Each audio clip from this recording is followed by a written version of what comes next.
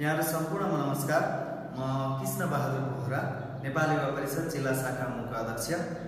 नेपाल युवा परिषद सामाजिक गैर राजनीतिक गैर सरकारी तथा गैर नाफामूलक युवाहरूको क्षेत्रमा कार्यरत एउटा विशुद्ध सामाजिक संस्था हो।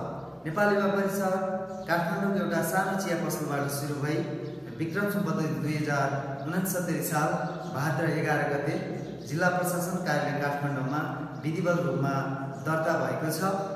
हाल देशका सातवटै प्रदेशका सतहत्तरवटै जिल्लामा युवाहरूसँग नजिक भएर युवाहरूको क्षेत्रमा यसले छवटा विषयमा काम गर्दै आइरहेको छ जुन युवा उद्यमशीलता दिगो विकास लक्ष्य प्राप्तिमा युवा युवा नेतृत्व सडक सुरक्षामा युवा सूचना प्रविधिमा युवा र वातावरणका लागि युवाका क्षेत्रमा काम गर्दै आइरहेको छ।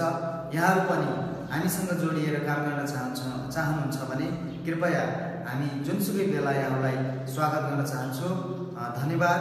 जय देश जय युवा। नमस्ते।